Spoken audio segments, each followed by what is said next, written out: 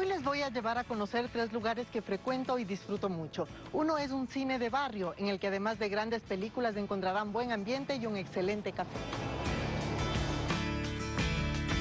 Es el ocho y medio. Más que un cine, un centro cultural. Hoy la gente llega para ver El Irlandés, la última película de Martin Scorsese.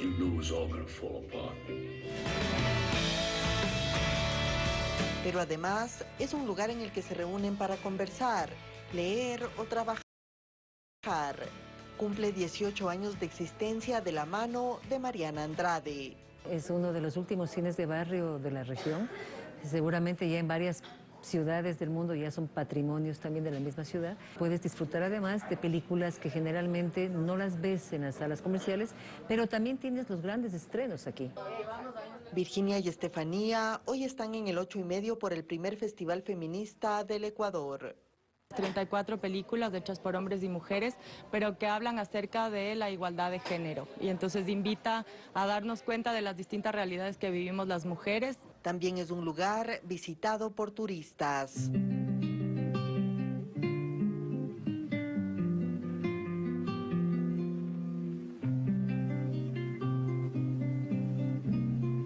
Ahora les voy a llevar a Conde Mosca, donde encontrarán mucho más que libros.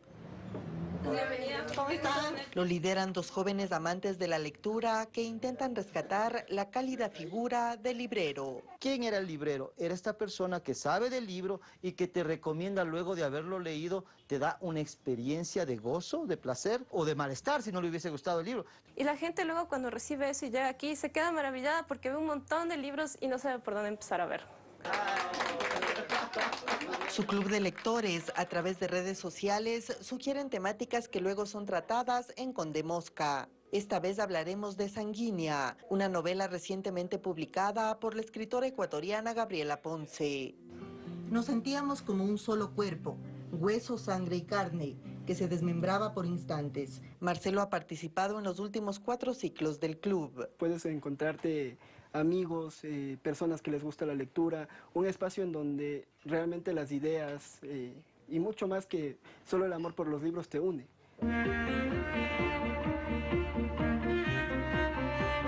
El último lugar que visitaremos es Casa Toledo, un pequeño teatro que recibe a grandes actores y actrices.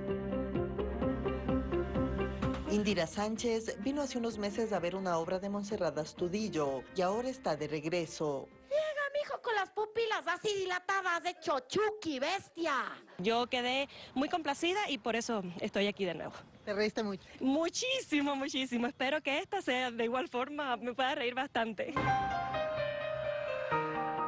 Esta vez el público verá la comedia ¿Por qué estoy sola si soy cuerazo? de Ana María Valareso. Lorena Bobbitt aprendió cortando. Me encanta este teatro, es familiar, como te digo, se le, ve, se le siente a la gente más cerca, cómo se involucra en, en las presentaciones que nosotros tenemos. El actor Manolo Morales empezó este proyecto hace cuatro años. Una oferta cultural permanente. Tenemos un teatro con capacidad para 100 personas donde pasan y fluyen todos los mejores artistas. Ocho y medio, con De Mosca y Casa Toledo, tres propuestas culturales para visitar en la capital.